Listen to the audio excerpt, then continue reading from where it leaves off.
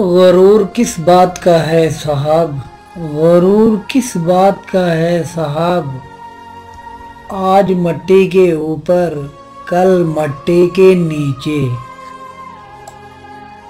गरूर किस बात का है साहब? गरूर किस बात का है साहब? आज मट्टी के ऊपर, कल मट्टी के नीचे।